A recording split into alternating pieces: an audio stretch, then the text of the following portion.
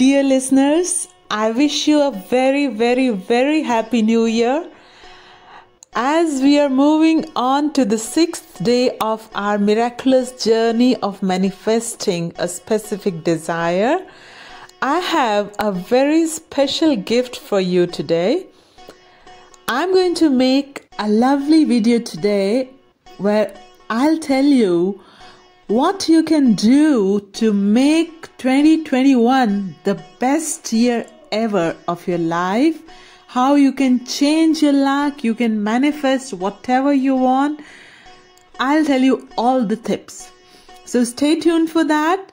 Let's start today's prayer. Dear universe, here I am on the sixth day of my magical journey to manifest my heart's desire. I know you placed this desire in my heart because you want to manifest this desire through me. I know for sure that my desire is going to be fulfilled sooner than I can imagine. I am totally open and grateful to receive this blessing in my life. I am so very thankful and so grateful to you, dear universe, for manifesting this desire. Thank you, universe.